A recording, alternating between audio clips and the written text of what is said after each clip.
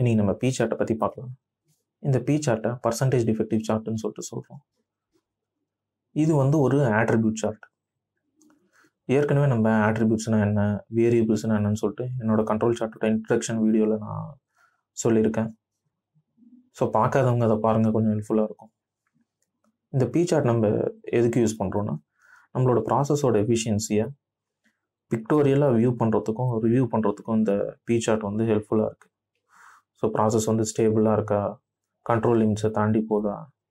இதெல்லாம் அண்டர்ஸ்டாண்ட் பண்ணுறதுக்கு இந்த பி சார்ட் ஹெல்ப்ஃபுல்லாக இருக்குது ஸோ ப்ராசஸ் வந்து ஸ்டேபிளாக இல்லாத போது இல்லை கண்ட்ரோல் லிமிட்ஸை தாண்டி போகும்போது அதுக்குரிய நடவடிக்கை எடுத்து நம்ம ப்ராசஸை வந்து கரெக்ட் பண்ணுறோம் ஸ்டேபிள் பண்ணுறோம் ஸோ அதுக்கெல்லாம் வந்து பார்த்திங்கன்னா இந்த பி சார்ட் வந்து ஒரு இண்டிகேட்டராக இருக்குது இந்த பி சார்ட்டை யூஸ் பண்ணி நம்மளோட ப்ராசஸ் எஃபிஷியன்சியை தெரிஞ்சிக்கணும் இல்லைன்னா டிரைவ் பண்ணணும் அப்படின்னு கேட்டிங்கன்னா அதுக்கு ரெண்டு டீட்டெயில்ஸ் தேவைப்படுது. ஒன்று வந்து அந்த ப்ராசஸ் மூலமாக எவ்வளோ பொருள் தயாரித்தோம் அதில் எவ்வளோ டிஃபெக்டிவ் உருவாச்சு. ஸோ இந்த ரெண்டு டேட்டாவும் தெரியணும். ஸோ இதை இன்புட்ஸாக வச்சு தான் நம்ம இந்த பி சார்ட்டை வந்து அரைவ் பண்ண போகிறோம் ஸோ இதில் ஒரு முக்கியமான விஷயம் நோட் பண்ணுங்கள் டிஃபெக்டிவ் ஸோ நீங்கள் டிஃபெக்டை பற்றி கேள்விப்பட்டிருப்பீங்க. இது என்ன டிஃபெக்டிவ் அப்படின்னு சொல்லிட்டு பார்க்கலாம். நம்ம எந்த ஒரு பொருள் தயாரிக்க போகும்போது அதில் டிஃபெக்டும் இருக்கக்கூடாது. அந்த பொருள் டிஃபெக்டிவாகவும் இருக்கக்கூடாது. ஸோ டிஃபெக்ட்னு என்னென்னு கேட்டிங்கன்னா நம்ம பொருள் தயாரிக்க போகும்போது அது வந்து ஸ்பெசிஃபிகேஷனோட வேரி ஆகும்போது இல்லை டிஃபர் ஆகும்போது இல்லை அந்த பொருளில் இம்பர்ஃபெக்ஷன்ஸ் இருக்க போகும்போது இதெல்லாம் நம்ம டிஃபெக்ட்டுன்னு சொல்லிட்டு சொல்கிறோம் பொதுவாக இந்த டிஃபெக்ட்டுன்னு நம்ம டேர்ம் பண்ணுறது அந்த ப்ராடக்டோட ஃபங்க்ஷனாலிட்டியை வந்து அஃபெக்ட் பண்ணாது.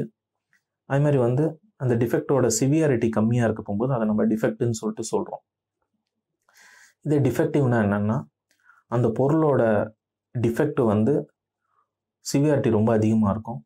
ஸோ அந்த டிஃபெக்டால் அந்த பொருளை வந்து நம்மளால் யூஸ் பண்ண முடியாது.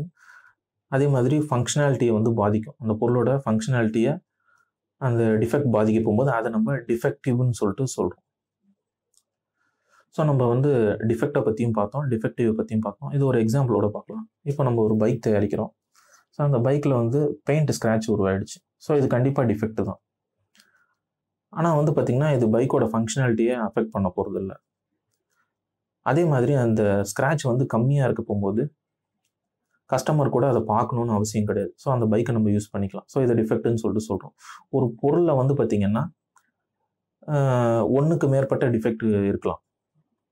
ஆனால் வந்து பார்த்திங்கன்னா அது வந்து ஃபங்க்ஷனாலிட்டியை பாதிக்காத போது இல்லைனா வந்து பார்த்திங்கன்னா சிவியாரிட்டி கம்மியாக இருக்கும்போது அதை நம்ம டிஃபெக்ட்னு டேர்ம் பண்ணுறோம் இதே வந்து பார்த்திங்கன்னா நம்ம தயாரிக்கிற பைக்கோட இன்ஜினில் ப்ராப்ளம் ஏற்படுதுன்னா அது கண்டிப்பாக அந்த பைக்கோட ஃபங்க்ஷனாலிட்டியை பாதிக்கும்.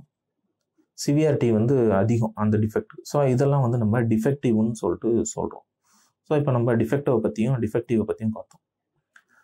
இதில் ஏன் பார்த்தோன்னு கேட்டிங்கன்னா டிஃபெக்டை வந்து இன்புட்டாக யூஸ் பண்ணிக்கிட்டு ப்ராசஸோட எஃபிஷியன்சியை தெரியப்படுத்துறதுக்கு செப்பரேட் சார்ட்ஸ் இருக்குது ஸோ இந்த சார்ட்டில் பொறுத்த வரைக்கும் நம்ம பி சார்ட்டை பொறுத்த வரைக்கும் இது டிஃபெக்டிவை வந்து இன்புட்டாக எடுத்துக்கிட்டு அனலைஸ் பண்ணக்கூடிய சார்ட் ஸோ இதுக்காக தான் நம்ம டிஃபெக்டை பற்றியும் டிஃபெக்டிவை பற்றியும் பார்த்தோம்.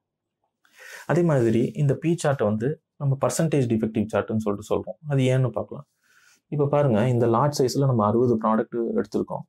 அதோட சாம்பிள்ஸ் எடுத்திருக்கோம். அதில் வந்து பார்த்திங்கன்னா பத்து ப்ராடக்ட் வந்து டிஃபெக்டிவாக இருக்குது ஸோ அதில் வந்து என்ன நம்ம இதில் என்ன திறன் பண்ணுறோன்னு கேட்டிங்கன்னா அதோட பர்சன்டேஜ் கண்டுபிடிக்கிறோம். இதான் வந்து பார்த்திங்கன்னா நம்ம பண்ணுற வேலை. ஸோ இதில் வந்து எவ்வளோ பர்சன்டேஜ் ஆஃப் டிஃபெக்ட்ஸ் வந்து உருவாயிருக்குன்னு சொல்லிட்டு கண்டுபிடிக்கிறோம் ஸோ அதுக்கு என்ன பண்ணுறோம்னா ஃபஸ்ட்டு ப்ரொபோஷன் கண்டுபிடிக்கணும். டென் டிவைடட் பை சிக்ஸ்டி போட்டிங்கன்னா உங்களுக்கு பாயிண்ட் ஒன் சிக்ஸ் சிக்ஸ் கிடைக்கும்.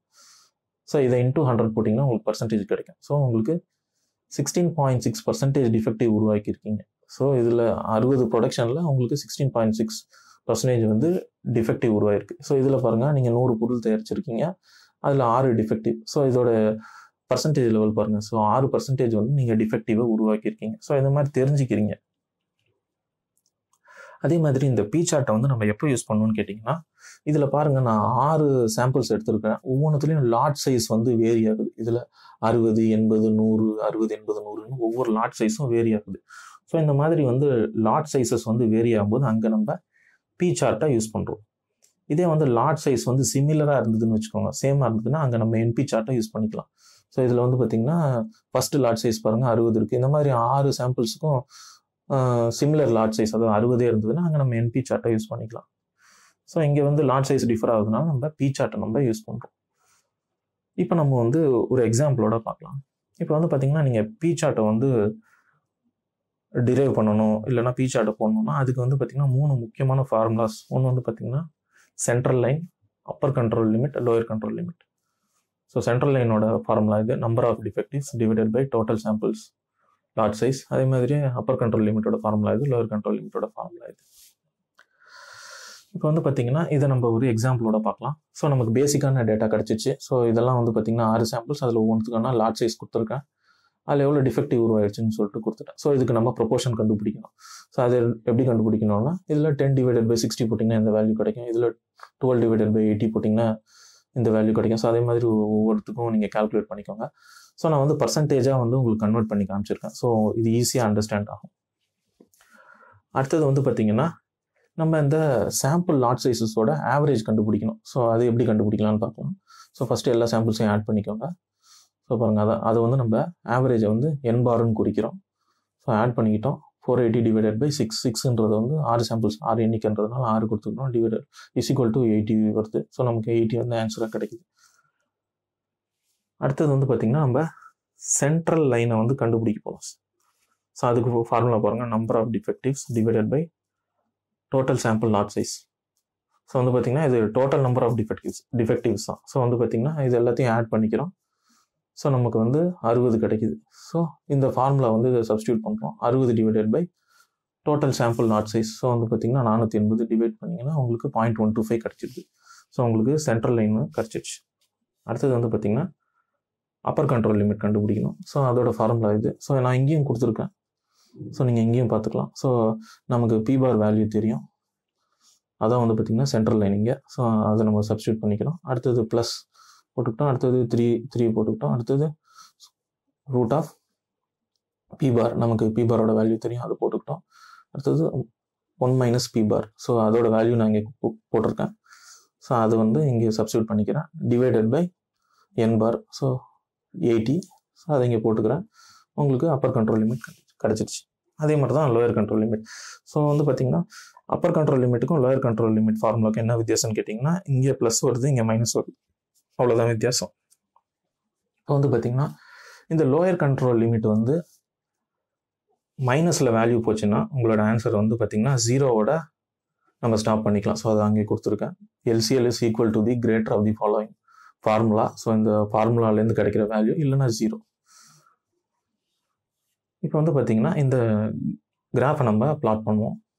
இப்போ பார்த்தீங்கன்னா சென்ட்ரல் லைன் நம்ம கண்டுபிடிச்சிட்டோம். So point one two five so இங்கே பாருங்கள் பாயிண்ட் ஒன் டூ ஃபைவ் இங்கே மார்க் பண்ணியிருக்கேன். அடுத்தது வந்து பார்த்திங்கன்னா இங்கே one two three four five six இது கொடுத்துருக்கிறது. இந்த ஒன்றுன்றது இந்த சாம்பிளை குறிக்குது இந்த டூன்றது வந்து ரெண்டாயிரம் சாம்பிளை குறிக்குது. ஸோ அதான் ஒவ்வொரு சாம்பிள் அதோட பர்சன்டேஜ் டிஃபெக்டிவ் பர்சன்டேஜும் நம்ம இங்கேயே மார்க் பண்ணுறோம் ஸோ பாருங்கள் first சாம்பிளோட defective percentage sixteen point six percentage so இதோட பாருங்கள் point one six six so இதை பாருங்கள் இங்கே மேப் பண்ணிக்கிறோம். இது point one six five so அதுக்கு மேலே இங்கே வரும் பாயிண்ட் ஒன் சிக்ஸ் சிக்ஸ் அங்கே வந்து மார்க் பண்ணிக்கிறேன். அடுத்தது வந்து பாருங்கள் பாயிண்ட் ஒன் ஃபைவ்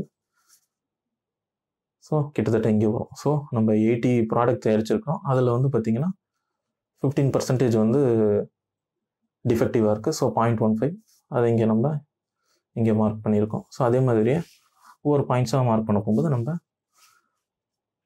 இந்த கிராஃப் கிடைக்குது. ஸோ இது மூலமாக நம்ம ப்ராசஸ் எஃபிஷியன்சியை தெரிஞ்சுக்கிறோம். ஸோ நார்மலாக நம்ம எல்லாருக்கும் தெரியும் கண்ட்ரோல் சார்ட்டை வந்து எப்படி வியூ பண்ணோம்னு சொல்லிட்டு. ஸோ இந்த பாயிண்ட்ஸ் எல்லாம் வந்து பார்த்தீங்கன்னா அப்பர் கண்ட்ரோல் லிமிட்டை தாண்டி போகக்கூடாது. அது மாதிரி லோயர் கண்ட்ரோல் லிமிட்டையும் தாண்டி போகக்கூடாது. அது மாதிரி சில பேட்டர்ன்ஸை வந்து ஃபாலோ பண்ணக்கூடாது. அந்த மாதிரி இருந்ததுன்னா இந்த ப்ராசஸ் வந்து ஸ்டேபிளாக இல்லைன்னு சொல்லிட்டு அர்த்தம். ஸோ இன்றைக்கி வந்து பார்த்திங்கன்னா இந்த பி சார்ட்டோட பேசிக்ஸ் நம்ம பார்த்தோம். இது இது வந்து உங்களுக்கு இன்ஃபர்மேட்டிவாக இருந்ததுன்னா சேனலை சப்ஸ்கிரைப் பண்ணுங்கள் அதே மாதிரி இதில் ஃபர்தராக இம்ப்ரூவ்மெண்ட்ஸ் இருக்கணும்னா டிஸ்கிரிப்ஷனில் கொடுத்துருக்க மெயில் ஐடியில் மெயில் பண்ணுங்கள் நான் ஃபர்தராக இம்ப்ரூவ்மெண்ட்ஸ் கொண்டு வரேன். தேங்க்ஸ்